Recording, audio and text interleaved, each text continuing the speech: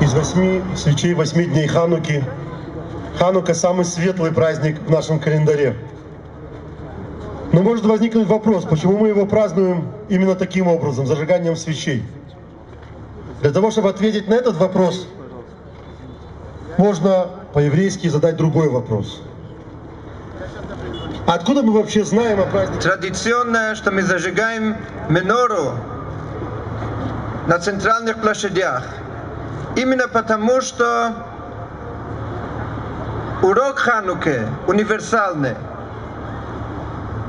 Сегодня наш праздник отражает новые перемены, которые мы видим в наших домах, как в нашем городе. Сегодня много добрых дел, много хороших поступки, которые реально побеждают эти силы зла.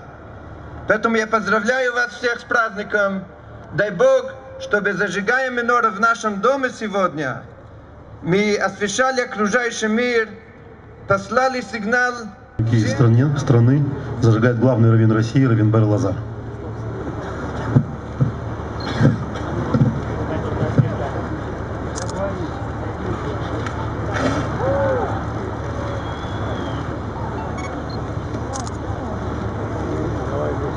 Рухато адейно, ялайхейно, мала